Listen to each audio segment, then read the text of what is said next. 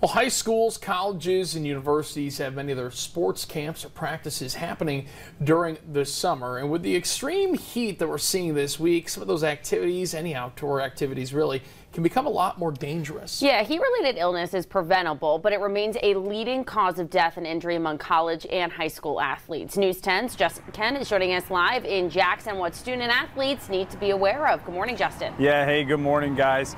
Now, as you can see here behind me, there's still some clouds out here in Jackson. However, the sun is going to be poking through, and with it's going to come the heat. Now, that's a trend we expect will continue through the week as we're going to see temperatures in the 90s. Just being outside for a long period of time can be very hazardous to your health, but what happens if you have to play an active sport like baseball, soccer, or even football? High exertion sports can be a major risk for athletes when the temperatures soar heat exhaustion, exercise associated muscle cramps, and heat stroke are among major concerns. Being prepared is often the best way to combat these issues. Now, moving practices indoors is oftentimes the first choice for prevention. However, not every school has the ability to move inside. For those who will be on the field, taking several breaks, having cool down stations, drinking lots of fluids, and of course, having an athletic trainer present can actually save lives. Jackson Fire Captain said they have been called to sporting events before for extreme heat. We've ran to sporting events where uh, high school athletes start having the heat heat cramps, cramping up from the heat, not staying hydrated.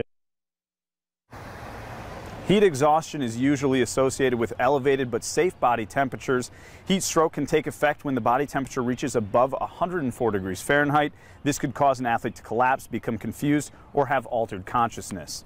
Now, athletic trainers can be vital in recognizing and treating heat-related illnesses. In fact, according to the Journal of Athletic Training, uh, cold immersion uh, water tub can save lives as long as they are used within 10 minutes of early onset heat stroke.